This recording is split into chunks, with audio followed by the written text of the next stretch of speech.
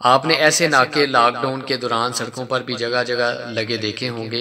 अच्छी बली खुली सड़क पर बंदा पूरी रफ्तार से ड्राइव करता जा रहा होता है कि अचानक आगे ट्रैफ़िक जाम हो जाता है। बंदा हैरान होता है कि इतने सख्त लॉकडाउन में ट्रैफ़िक क्यों जाम है? पता चलता है कि पुलिस ने इस मर्ज के खिदशे के पेश नज़र पूरी सड़क ब्लॉक करके सिर्फ़ एक ही गाड़ी का रास्ता खुला छोड़ा है जहाँ से एक एक करके सिर्फ़ गाड़ियाँ ही गुजर सकती हैं ये मर्ज इतने तंग रास्ते से गुजरने की कोशिश करेगा तो फंस जाएगा और इसे पुलिस हथगड़ियाँ लगाकर गिरफ़्तार कर लेगी। बाज मोटरसाइकिल सवारों को रोककर इनकी जामा तलाशी भी ली जाती रही है। अल्लाह जाने इस तलाशी के दौरान इनमें से किसी की जेब से ये मरज बरामद हुआ या नहीं। अब इंतहाई मजबूरी और बेकसी के आलम में ये फैसला लिया गया है कि लॉकडाउन खत्म कर दिया जाए, बाज़ार खोल दिए जाए। लेकिन इस पाबंदी के साथ के हफ़्ते में सिर्फ़ चार दिन यानी पीर, मंगल, बुध और जुमेरात को दुकानें खुलेंगी। वो भी सिर्फ़ शाम पाँच बजे तक। ये शायद इस मर्ज के नागे के आयाम होते हैं, या मुमकिन है कि इन दिनों में मरज शाम की ड्यूटी करता है। मेरे एक डॉक्टर दोस्त बताते हैं कि हम एक मरीज़ की ओपन हार्ट सर्जरी कर रहे थे। सीना चाक किया जा चुका था, दिल की धड़कन मशीन की मदद से जारी थी।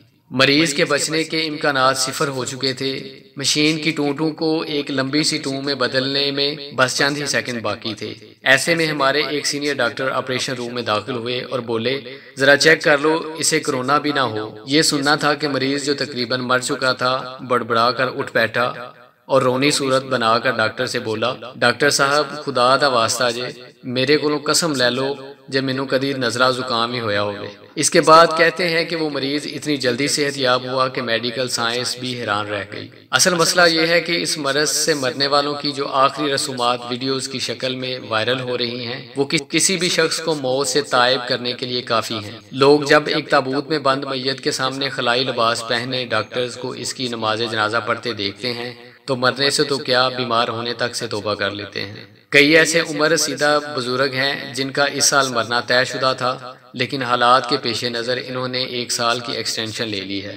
लोगों का ख्याल है कि इस किस्म की आखिरी रसूमात से अल्लाह जाने हमारी आत्मा को शांति मिलेगी भी या नहीं। लिहाजा बेहतर यही है कि फ़िलहाल मरना कैंसिल कर दिया जाए। आजकल मर सिर्फ़ वो रहा है जिसकी कोई इंतहाई मजबूरी हो। एक बात तो तय है कि कोरोना वायरस वहाँ कुदरती हो या मसनू लेकिन है बिल्कुल नकम्मा।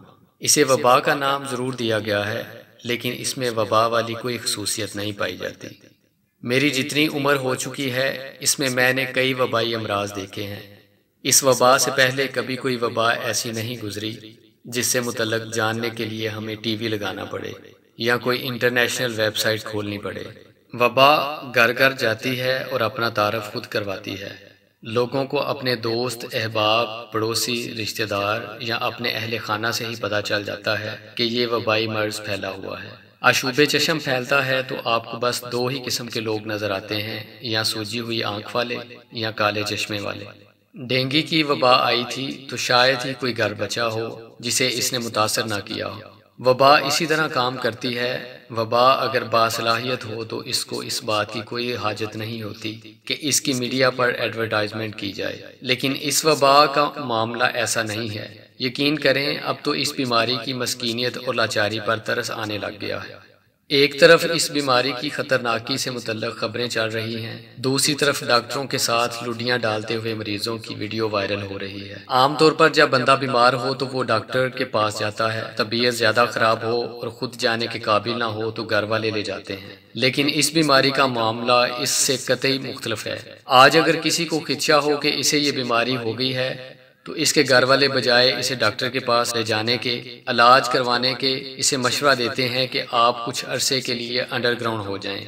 मामला दबने के बाद मंजर आम पर आ जाइएगा हमारे हुक्मरानों की काबिलियत के भी क्या कहने हैं? अगर किसी शख्स की किस्मत में ट्रक की जिद में आके मरना लिखा हो, मगर मुझे अपने हुक्मरानों की सलाहियत पर पूरा भरोसा है, ये किसी न किसी तरह ये साबित कर ही लेंगे कि एक्सीडेंट से एक लम्हा पहले मुतवफ़ी मरज का शिकार हुआ, जिसकी वजह से इसकी वफात हो गई। वफात पा जाने की वजह से मुतवफ़ी सामने से आते ट्रक को ना देख पाया और एक्सीडेंट हो गया और फिर मैय ट्रक के नीचे आ गया।